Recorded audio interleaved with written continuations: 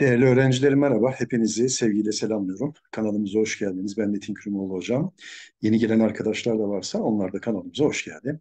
Şimdi değerli öğrencilerim sözcük türleri konumuzun e, ikinci adımıyla devam edeceğiz bu videomuzda. Birinci adım sorularımızı kanalımızdan izleyebilirsiniz. Sorularımıza geçmeden önce kanalımıza abone olduğunuz için ve beğeni tuşunu likeladığınız için şimdiden teşekkür ediyorum. Şimdi hemen sorumuza geçelim bir e, şiirimiz var, dizeler var ve bu dizelerle ilgili diyor ki verilen yargılardan hangileri yanlıştır? Şimdi sevgili arkadaşlar hemen e, ilk dizeden başlayalım. Diyor ki birinci dizede niteleme sıfatı vardır. Hemen kalemimizi aktif edelim ve bakalım. Arkadaşlar burada niteleme sıfatı yok. Neden yok? Çünkü bakın ayva sarıdır, nar kırmızıdır sonbahar. Sonbaharda ayvanın sarı, narın kırmızı olduğunu cümle niteliğinde ifade ettiği için burada niteleme sıfatı yok diyebiliriz. Dolayısıyla birinciyi eliyoruz. İkinciye gelelim. İkinci dizede belgisiz sıfat vardır. Şimdi buraya bakalım. Her yıl biraz daha önemsediğim, benimsediğim. Şimdi her yıl, her yıl derken bu yıl mı, geçen yıl mı, bir sonraki yıl mı? Evet burada bir belgisiz sıfat var diyebiliriz. İsmin önüne gelen, ismi niteleyen, belirten kelimelere biz ne diyoruz? Sıfat diyoruz. Burada her yıl derken bir belgisizlik ifade e, edilmiş. Dolayısıyla bu doğrudur arkadaşlar. Bunu atlıyoruz. Üçüncüye gelelim. Üçüncüye baktığımız zaman ne dönüp duruyor havada kuşlar derken dikkat edin dönüp burada nedir? Zarf fiildir arkadaşlar. Zarf fiil. Evet zarf fiil. Şimdi fiilleri, fiilimsileri, sıfatları ve kendi cinsinden kelimeleri yani zarfları niteleyen kelimelere biz ne diyoruz? Ee, zarf diyoruz arkadaşlar. Dolayısıyla burada e, sıfattan ziyade, soru sıfatından ziyade soru zarfı var. O yüzden arkadaşlar üçü de ne yapıyoruz? Yanlış olarak e, nitelendiriyoruz. Şimdi gelelim dördüncü dizeye. Nereden nereden çıktı bu cenaze? Ölen kim? Dördüncü dizede işaret sıfatına yer verilmiştir diyor. Nereden çıktı bu cenaze? Evet bu bir işaret sıfatıdır. Cenaze ismini ne yapmıştır arkadaşlar? Belirtmiştir. Dolayısıyla bir ismin önüne gelen ve belirtme görevi gören kelimeler nedir? Sıfattır. Dolayısıyla sevgili arkadaşlar bu da doğrudur. Ve geliyoruz arkadaşlar beşinci dizeye. Bu kaçıncı bahçe gördüm tarumar derken beşinci dizede sayı sıfatı kullanmıştı diyor. Hayır. Kaçıncı bahçe dediğimiz zaman bir derecelendirme sıfatı var. Dolayısıyla bunu da ne yapıyoruz? Eliyoruz. Dolayısıyla Bursa seçeneği yanlış olarak verilmiştir. Yani 1, 3 ve 5 dizeler, 1, 3 ve 5. dizeler yanlıştır. Dolayısıyla doğru cevabımız Bursa seçeneğidir sevgili öğrencilerim. İkinci soruya geçelim arkadaşlar. Diyor ki aşağıdakilerin hangisinde ancak sözcüğü farklı bir görevde kullanmıştır? Şimdi sevgili arkadaşlar e, ancak sözcüğü bağlaç olabilir, edat olabilir, bazen zarf görevli kullanılabilir. Şimdi Ceyhan seçeneğine dikkat etmenizi istiyorum. Şimdi Ceyhan seçeneğinde bakın diyor ki buradan taşınmayı istemiyorum. Ancak başka çarem yok. Dikkat ederseniz iki cümleyi birbirine bağlıyor burada ancak. Fark ettiniz mi bilmiyorum. Bakın buradan taşınmayı istemiyorum birinci cümle. Başka çarem yok. Kimin? Benim. Başka çarem yok. Evet. Ama fakat anlamında kullanılan bir bağlaç olarak burada kullanmış. Fakat diğerlerine baktığımız zaman o ancak senin gibi biriyle dost olabilir. Bakın dikkat edin. Ancak dost olabilir senin. Kendisine verilen, verilen görevleri ancak bitirdi. Bakın eylemi ne yapıyor? Niteliyor. Sen kendi çocuklarının karnını ancak doyuruyorsun. Doyuruyorsun bakın. Eylemi ne yapıyor? Niteliyor. Yine Rum elçilerin kılavuzluğunda beş gün beş gece at süren ordu vadiye gece ancak ulaşabilmiş. Bakın eylemi ediyor. Dolayısıyla arkadaşlar burada farklı olarak ikinci sorumuzda ancak kelimesi bir bağlaç olarak kullanılmış ve doğru cevabımız Ceyhan seçeneği olarak bizi karşılamakta. Bundan dolayı sizler de Ceyhan seçeneğini ne yapıyorsunuz? İşaretliyorsunuz dördüncü sorumuza. Bu parçada aşağıdakilerden hangisine yer verilmemiştir diyor. Sevgili arkadaşlar hemen kalemimizi aktif edelim. Diyor ki sıfatı derecelendiren zarf. Evet. Şöyle baktığımız zaman sevgili öğrencilerim sıfatı derecelendiren zarf derken sevgili arkadaşlar e, ismin önüne gelen sıfat sıfatın önüne de gelen zarf olacaktır. Dolayısıyla e, biz ne yapacağız? Sıfatın önüne gelen kelimeyi derecelendirme e, ifade eden kelimeler yani zarfı bulacağız. Bakın burada en büyük sakıncası derken en burada bir sıfatı derecelendirme zarfıdır arkadaşlar. Çünkü zarflar sıfatları, e, fiil, fiilleri, fiilimsileri ve kendi cinsinden kelimeleri ne yapar? Niteler. Bakın burada büyük sıfatının önüne gelerek bir derecelendirme zarfı görevi görmüştür. Dolayısıyla e, buna yer verilmiştir arkadaşlar. E, ad tamlamasının arasına girmiş edat. Arkadaşlar bakalım ad tamlaması tarih yazarlığı derken bir ad tamlaması e, burada belirtisiz. Roman yazarlığı hakeza. Bakın bunların arasına giren bir şey yok. E, gözden kaçırmanın ya da e, hiç bilme bilmemenin en büyük sakıncası derken e, burada bir tamlama oluşmuş ama edat yok, bağlaç var. E, dolayısıyla Bursa seçeneği doğru cevaptır diyebiliriz arkadaşlar. Bursa seçeneği doğru cevaptır. Yer verilmemiştir. İspat edelim diğerlerine bakalım. Şimdi yüklem grubunun içinde yer alan isim fiil. Evet. Şimdi en büyük sakıncası ortaya yanlış beklentilerin çıkmasıdır derken bakın burada bir yüklem grubu var. Ortaya yanlış e, ortaya yanlış beklentilerin beklentilerin çıkması, yanlış beklentilerin çıkması. Burada çıkması ma me eki çıkmak fiiline gelerek bir e, isim fiil yapmış arkadaşlar. E, bir fiile e, isim fiileki geldiği zaman artık onu olmuştur. İsim olmuştur. İsim görevli olmuştur. Fiillikten çıkmıştır. Çünkü gövdesi ne olacaktır e, sevgili arkadaşlar?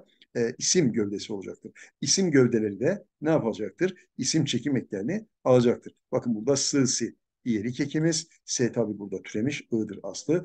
Dır bir de ek fiilimizdir arkadaşlar. Ek fiilimizdir. Ek fiil ekleri ne yapar? Geldiği zaman isimlere geldiği zaman isimleri yüklem yapar. Yani ek fiiller isim cümlesi oluşturur. Dolayısıyla arkadaşlar bu da doğrudur. Yer verilmiştir. Tamlayanları bağlayan bağlar. Evet. Kaçırmanın tamlayanı bakın. Bilmemenin tamlayanı. Evet. Kaçırmanın, bilmemenin en büyük sakıncası. Burada bir tamlamı var. Bunu ya da bağlacı ne yapmış arkadaşlar bakın birbirine bağlamış. Dolayısıyla burada da e, verilmiş bir öğe var. E, D de doğrudur. Ve Edirne seçeneğine gelelim. Tamlayan görevinde deyim e, arkadaşlar. Burada da sevgili arkadaşlar e, gözden kaçırma. Evet bir şeyi gözden kaçırmak. Gözden kaçırabiliriz. E, dolayısıyla burada da gene bir e, deyim var sevgili e, arkadaşlar. Dolayısıyla Bursa seçeneğimiz doğru cevaptır diyoruz e, sevgili öğrencilerim ve hemen silelim yeni sorumuza geçelim.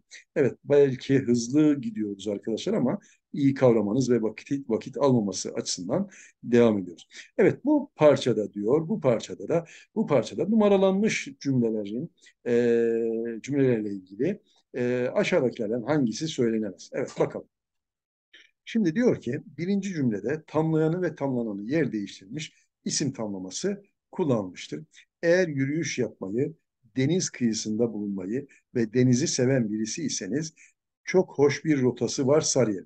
Sarıyer'in rotası derken arkadaşlar burada Sarıyer'in hoş bir rotası derken burada bir e, tamlayan ve tamlanan yer değiştirmiş diyebiliriz. Yani bunu söyleyebiliriz. Devam edelim. İkinci cümlede isim tamlaması yoktur diyor. İstinye'den yavaş yavaş yürümeye başladığınızı varsayalım. Evet doğru. Bir isim tamlaması yok. Yani tamlayan ve tamlanan. iki isim e, yan yana gelecek bir kelime grubu oluşturacak. Belirtili veya belirtisiz veya zincirleme. Yani Ali'nin kalemi, işte Sarıyer'in rotası gibi, e, deniz kıyısı gibi. Bakın burada yok. Bakın birinci cümlede olduğu gibi. Bu olmadığı için doğru cevap. Yani söyleyebiliriz var. Üçüncü cümlede hem belirtili hem belirtisiz isim tanımlaması vardır diyor. Üçüncü cümlede hem belirtili hem belirtisiz isim tanımlaması vardır. Karşınıza önce Yeniköy'e geçen caddedeki İstinye iskelesi. Evet, İstinye iskelesi sevgili öğrencilerin bir belirtisiz isim tamlamasıdır. Neden? Çünkü tamlayan yani İstinye nın nin eki almamış. Tamam mı arkadaşlar? Yani nın nin eki alırsa nın nin eki veya ın in eki alırsa bir tamlayan hemen bakın ekrana yazıyorum. Belirtili isim tamlaması olur. Eğer tamlayan ın in veya nın nin eki almazsa belirtisiz e, isim tanımlaması olur. Dolayısıyla İstinye iskelesi nedir? Belirtisiz isim tanımlaması. İskelenin yanı, evet, iskelenin yanı dediğimiz zaman bakın iskele kelimesi nın nin ekini ne yapmış? Almış. Nın nin ekini aldığı için tamlayan iskelenindir. Tamlayan nın nin ekini aldığı için dolayısıyla bu tamlamamız nedir? Belirtili isim tamlamasıdır. Zaten yan kelimesi de ı, i, e, iyelik ekini almış arkadaşlar. Bakın I, I iyelik ekini. Zaten tamlanan her zaman için e, iyelik ekini alır. Takısız isim tanımlamaları hariç. Dolayısıyla burada iskelenin yanı dediğimizde de belirtili isim tanımlaması var. Dolayısıyla istinye iskelesi de belirtisiz olduğu için üçüncü cümlemizde doğrudur söyleyebiliriz. Gelelim dördüncü cümlemize. Dördüncü cümlede diyor zincirleme isim tanımlamasına yer vermiştir. Bakalım 1908 yılında yapılan bu çeşmeye İnsan suresinin 21. ayeti yazılmış. Evet şimdi bakalım İnsan suresi bir isim tanımlaması arkadaşlar. Bu burada tamlayan görevi görmüş. Nın nin eki alarak 21. ayeti ismine ne yapılmış arkadaşlar? 21. ayetine e, tamlanmış. Dolayısıyla iki tane tamlama burada bir arada kullanıldığı için burada bir zincirleme isim tamlaması var. Peki o zaman şimdi gelelim Edirne seçeneğine sevgili öğrencilerim. Edirne seçeneğine gelelim. Bakalım Edirne seçeneği ne diyor?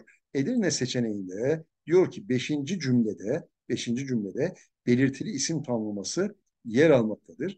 Doğru cevabımız burası. Burada yanlış e, verilmiş arkadaşlar. Doğru cevap Edirne. Beşinci cümlede belirtili isim tanımlaması yoktur. Bakalım buradan Avusturya konsolosluğu önüne kadar gideceğiniz yol deniz kıyısından uzaklaşmış olacak.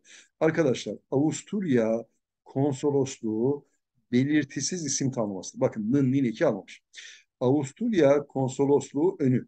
Burada bir zincirleme isim tanımlaması yapmış. Gene yok. Deniz kıyısı derken deniz kıyısı da bir belirtisiz isim tanımlamasıdır. Çünkü bakın deniz ne yapmamış? Bir ilgi e, eki almamış. Dolayısıyla Edirne seçeneği söylenemez. Yani belirtili isim tanımlaması yoktur sevgili öğrencilerim. Aksine belirtisiz isim tanımlaması var. Bundan dolayı doğru cevabımız Edirne seçeneğidir. Sizler de bu şekilde işaretlersiniz. Şimdi ne yapıyoruz? Siliyoruz ve yeni sorumuza geçiyoruz. Evet, gelelim altıncı sorumuza. Altıncı sorumuzda bu parçadaki numaralanmış cümlelerden hangilerinde diyor sıfat tamlaması yoktur. Neydi sıfat tamlaması?